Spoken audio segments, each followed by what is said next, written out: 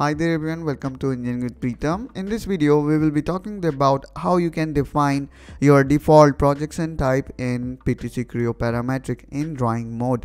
And not only that, we will talk about defining projection mode, but we will also save the setting permanently so that every time you do not need to change it. Let me quickly jump to drawing mode. For that, let's click here on File, New, and then let's select drawing. And then here you can give your drawing a name. I'm gonna keep it as it is. And then uh, if you have format you can select format. Here i'm going to keep it empty. And let me select standard size as a4 now hit ok. Now let me quickly draw a few uh, you know views. So first one isometric and the second one i'm gonna keep it top uh, yeah this one looks fine and if I see here and try to plot another projection view you will find and let me convert them to hidden mode you will find that this is a third angle uh, projection view. Since uh, you can see this portion here in the front so which means that this is third angle projection. But let's say our company do not work in third angle projection or let's say you do not like third angle projection view how you can change it so in order to change your projection style, you need to click here on file and then go to prepare, then go to drawing properties, click here on change on the first option and type here projection type. Okay. Now hit enter. Now you can see the value is defined by default as third angle projection and the value currently we have set also is third angle projection. Now click here on this lower arrow and make it first angle. Now click on add change and now you can see the new value is first angle projection. Now hit apply and then um, let me just close it to just show you before.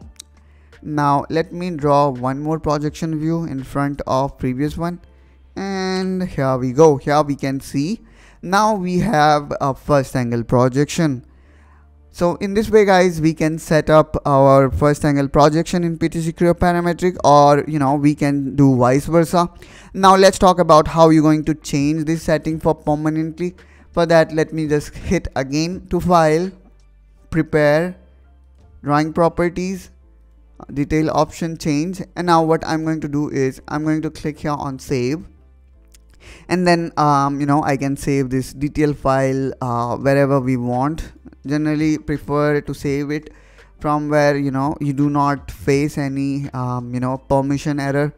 So generally see public document is the ideal location. Now now the last thing we need to do is we need to connect this file to our config.pro so let's go here to configuration editor. And now i'm going to click here on add. And then i will type drawing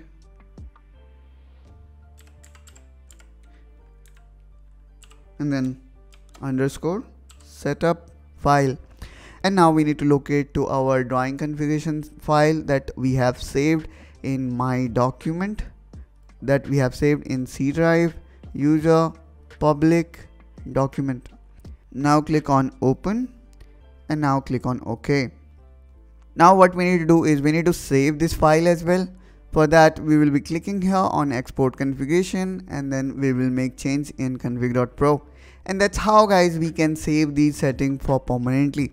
I hope guys you find this video helpful and informational. If yes then don't forget to like and subscribe to this channel for such content and I will see you soon in my next one. Till then take care and bye bye.